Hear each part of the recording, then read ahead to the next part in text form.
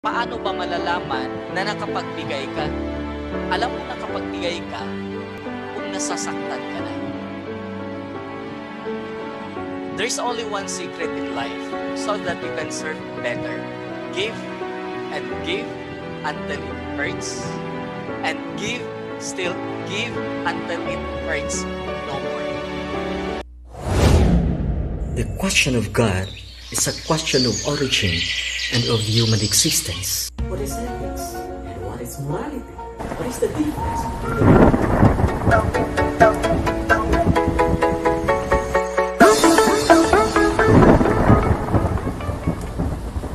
Sabi ni Saint Basil, uh, if you have two shirts and you see someone having none, and you refuse to give your other shirt to him, walang ibang pwedeng proper term na itawag sa'yo kundi magnanakaw.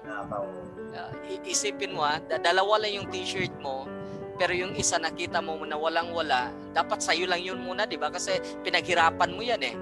Kaso lang, sabi na na, dahil yung isang t-shirt mo ay kaya mo pa naman na madamitan ka, whereas yung isa wala, pero dineprive mo yung isang t-shirt mo na hindi mo pa nagagamit, magnanakaw ka. Tapos sinundan ito ni ano ni ah, ni Saint ah, Teresa of ah, Saint Teresa of Calcutta, yung si Mother Teresa. Sabi ni Mother Teresa nung tinanong siya, ano bang sekreto mo? Bakit ah, okay lang sa iyo ang magbigay? At paano ba malalaman sa base sa experience mo na nakapagbigay ka? Kasi yung, yung giving kasi is a form of love. Kaya nga sabi ni ni ah, Pope ah, Benedict noon nung sinulat niya yung encyclical na Deus Caritas Est kasi yung caritas is hindi ito dole out no charity is not dole out but caritas is love sabi ng sa nung tinanong si si Maria Teresa sabi niya alam mo nakapagbigay ka kung nasasaktan ka na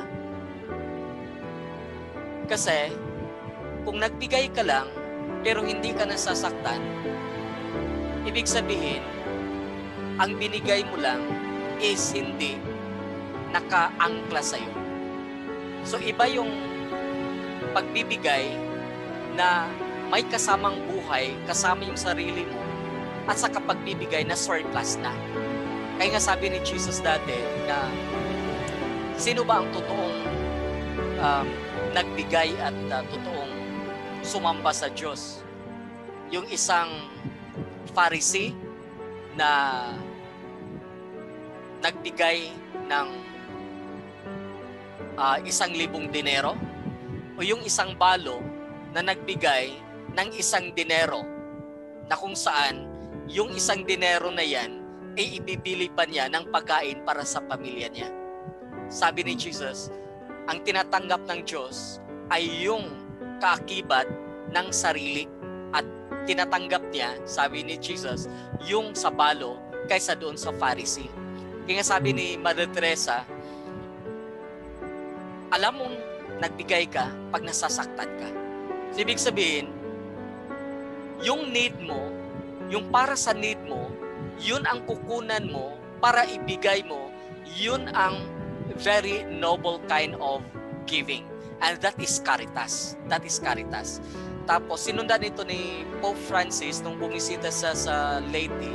Ang sabi ni Pope Francis nung uh, ito nung umano yung Yolanda uh, bumisita doon para pag para pag-isa sabi niya There's only one secret in life so that you can serve better.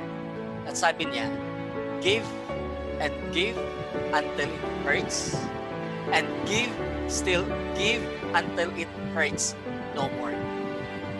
And uh, ito yung gustong mangyari ni ni Jesus sa atin na ito yung responsibility. We, we must be part of uh, we must be part nung uh, tinatawag na uh, caretaker of the vineyard na hindi lang we serve other people just because of our interest but we serve them because other people are part of us. Kaya sabi ni, ni Mercado, ito ay kagandahang loob.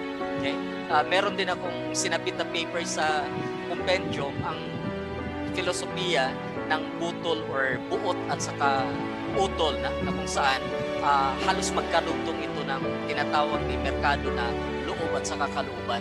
Kasi wala wala tayong ibang pwedeng maibigay sa Diyos kundi yung ano lang ang meron tayo na pagsiservisyo.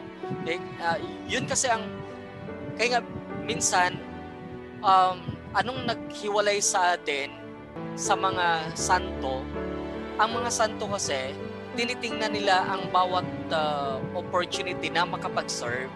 So halimbawa nitong pandemic, uh, may mga bata tayo na sobrang kulit, okay? Uh, sobra sa kung tutusin is halos sa uh, yung pasensya mo uubusin talaga.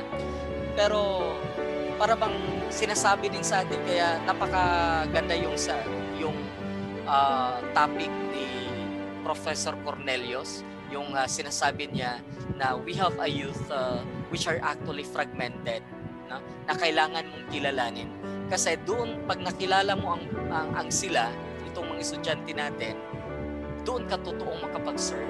Kasi maintindihan mo ang bawat isa.